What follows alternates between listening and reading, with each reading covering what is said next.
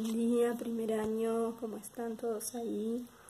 Espero que se encuentren todos bien, ¿sí? Vamos a comenzar con una nueva clase en el día de hoy. Como ustedes saben, estamos trabajando todavía con las características de los seres vivos, ¿sí? Estuvimos trabajando con el crecimiento y el desarrollo, que eso fue lo último que vimos. Y esta semanita la tuvimos... Eh, digamos, libre para poder trabajar con los profes de educación física. Los quiero felicitar a todos los que, los que estuvieron participando, ya sea con algún videíto de, TikTok o con algún desafío, la verdad me pone contenta de que hayan podido participar, así que bueno, me alegra por ustedes. Y ahora vamos a continuar con los temas que em, debemos seguir trabajando, ¿sí?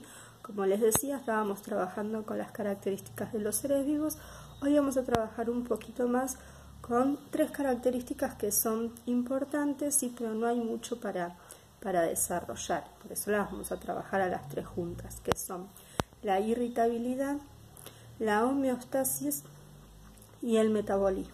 ¿sí? Cuando hablamos de irritabilidad, nos referimos a la capacidad que tienen los seres vivos de responder a un estímulo.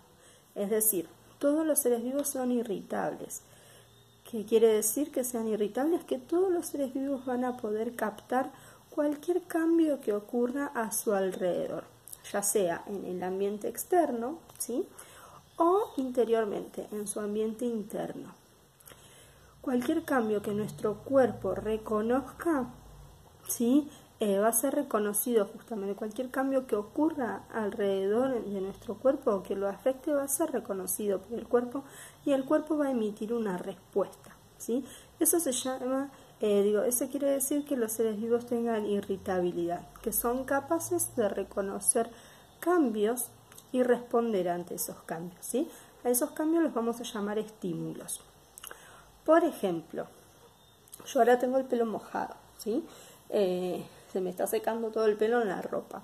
En, algún momento me va a empezar a agarrar frío porque voy a tener la espalda mojada, ¿sí? Entonces, el estímulo en ese caso mío fue eh, el pelo mojado en mi espalda. ¿Cuál fue la respuesta? Que tengo frío, ¿sí? Todo lo que ocurre a mi alrededor, mi cuerpo lo detecta y ante esos cambios responde, ¿sí? Si yo salgo a la calle en invierno de musculosa, seguramente me va a agarrar frío, ¿sí? porque hace frío en invierno. Y la respuesta que va a dar mi cuerpo va a ser que se va a poner toda mi piel de gallina, se va a irizar. ¿sí? En ese caso el estímulo fue el frío, la temperatura, y la piel de gallina fue la respuesta que mi cuerpo logró. ¿Se entiende? Entonces, que un ser vivo sea irritable quiere decir que es capaz de responder a cambios que ocurren a su alrededor, ya sea en su ambiente interno o en el ambiente externo. ¿sí? Es la capacidad de poder responder ante determinados estímulos. Esa es la irritabilidad. Después, cuando hablamos de homeostasis, nos referimos a que el cuerpo mantiene cierto equilibrio internamente, ¿sí? Mantiene siempre los valores equilibrados. ¿Sí? Nuestro cuerpo tiene un orden, nuestro organismo para funcionar necesita tener un orden. Y ese orden siempre se mantiene en equilibrio. Esa es la homeostasis. Un ejemplo de homeostasis sería nuestra temperatura corporal. ¿sí? Si nosotros nos tomamos la temperatura y no tenemos fiebre, nuestra temperatura va a estar entre los 36 y los 37 grados. ¿sí?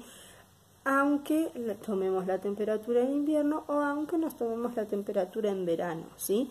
Por más que la temperatura alrededor en el ambiente cambie en invierno y en verano, nuestro cuerpo siempre la mantiene constante, no depende de lo que suceda a nuestro alrededor. Ese es un ejemplo de homeostasis. Pase lo que pase, nuestro cuerpo se mantiene en una temperatura constante, ¿sí? Y por último, el metabolismo es el conjunto de reacciones químicas que realiza nuestro organismo ¿sí? para poder cumplir con todas las funciones vitales. Cuando nosotros nos alimentamos, ese alimento debe convertirse en energía. ¿sí? Bueno, el metabolismo es el que se va a encargar de eso, de realizar todas estas reacciones químicas que nuestro cuerpo necesita para poder funcionar. ¿sí? Entonces, tres conceptos nuevos que tienen que saber e incorporar, que seguramente ya lo tienen anotado de, la primer clase que vimos este tema que describieron brevemente cada característica.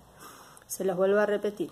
Primero, irritabilidad, capacidad que tienen todos los seres vivos de responder a estímulos.